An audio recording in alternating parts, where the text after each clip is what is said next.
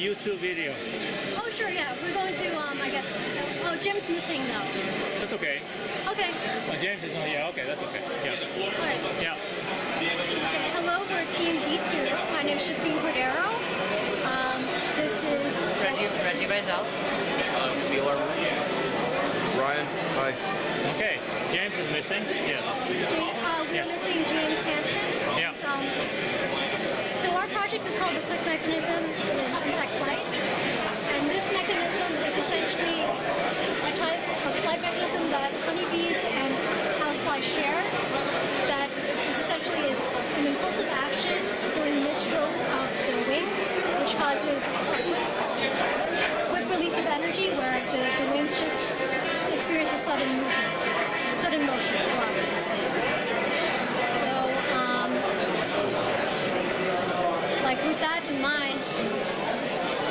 uh, incorporating that into our design, we're we're the model would be experiencing increased velocity without without having to increase its frequency or the amount of force uh, used for the flap.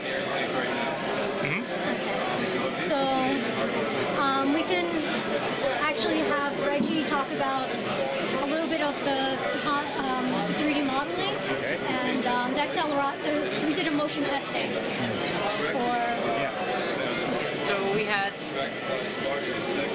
as you can see, we had the the base, two sides, the top, and the the bases for the wings, uh, 3D printed. Because the the holes for the joints were very small, it was very difficult to machine. We attempted to machine it, and it just any any crookedness just made the machine not work. So we 3D printed it, and that's fine. It works wonderfully.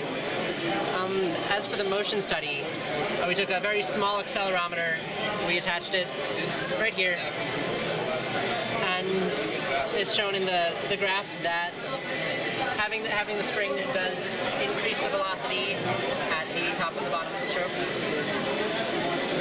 And wi- without increasing the frequency. It's at the same frequency, at the same pressure, having the spring Oh, the spring in does blue. Yeah. the spring is the Yeah. The spring, having the spring does induce the click mechanism. We're talking about the spring here. Yeah, the spring is this this one here, and it, it's on both sides. Is it it's very stiff? Just very Um, stiff? the stiffness is um, 0.116. It's 0.18 outer Uh, diameter. Yeah. Um, the the stiffness is in the paper. I'm pretty sure.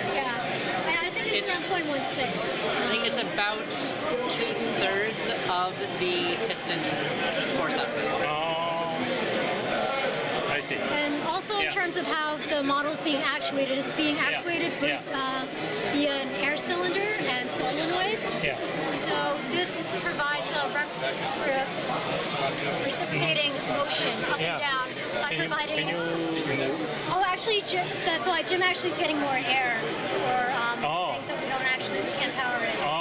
So okay. he's gra- because we ran out, everyone was using the. Well, we could we could do a demonstration once Yeah. he comes back. He should be back. soon. Where the air is from? Uh, he grabbed the How whole did- cylinder.